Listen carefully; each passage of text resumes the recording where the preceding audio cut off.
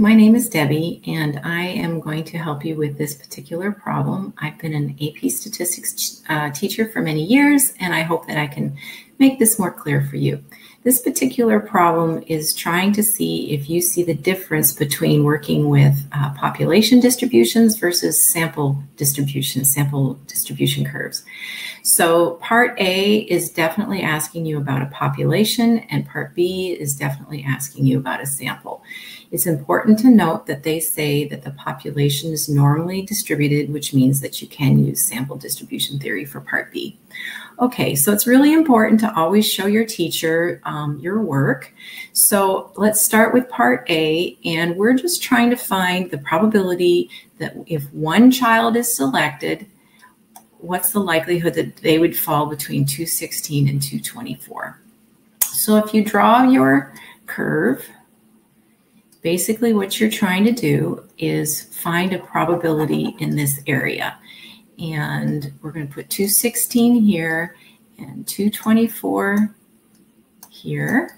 And you just state the mean of the population, which is 220, and the standard deviation of the population, which is 16.3.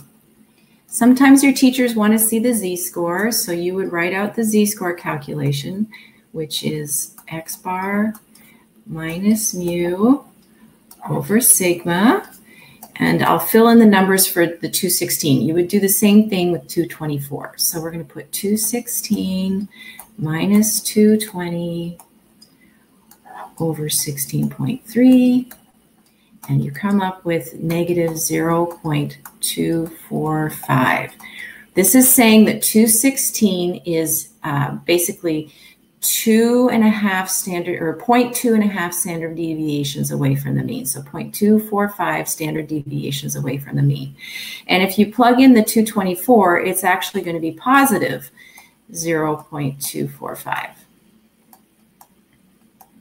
So then in your calculator, you can use norm CDF if you're using a TI-84 and you would put in uh, the lower boundary of 216, the upper boundary of 224, a mean of 220, a standard deviation of uh, 16.3, and what you come up with is a p-value or a probability of uh, 19.39%.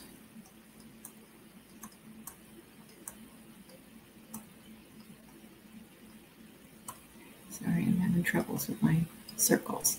Okay, so to do part B, I'm going to do a new board here. To do part B, really nothing is changing. It's still the curve. Oops, that's a bad curve, but anyways, we'll leave that. They're still trying to figure out the area between 216 and 224. But the difference now, so now we have a mean, we're going to say x bar, the mean is um, 220. And we're going to say a sample standard deviation is going to be 16.3 divided this time by the square root of the sample size, which is 12. Okay, so your standard deviation is much smaller now. 4.705. And this makes sense because we're taking a sample of 12 and averaging them. So now our curve is actually going to be much tighter, much narrower than the previous curve.